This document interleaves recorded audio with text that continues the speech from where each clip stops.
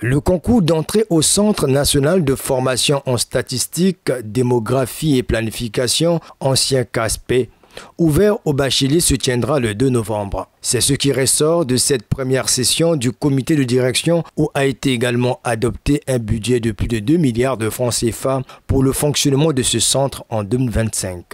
Je voudrais indiquer que le budget du centre a été arrêté en recettes et en dépenses à la somme de 2 milliards 130 millions 731 568 francs CFA. En outre, les dates de réalisation des concours pour l'accès au centre pour les nouvelles promotions euh, sont, ont été fixées au 2 et 3 novembre 2024.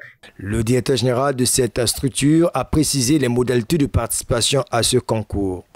Euh, pour le concours, euh, il s'agit euh, des candidats ou des élèves ayant le bac euh, C, D, E, F qui peuvent se présenter et qui ont 22 ans au plus au 31 décembre 2024. Lors de cette session inaugurale du comité de direction du Centre national de formation en statistique, démographie et planification, il a été également adopté le rapport d'exécution du budget au 30 septembre 2024.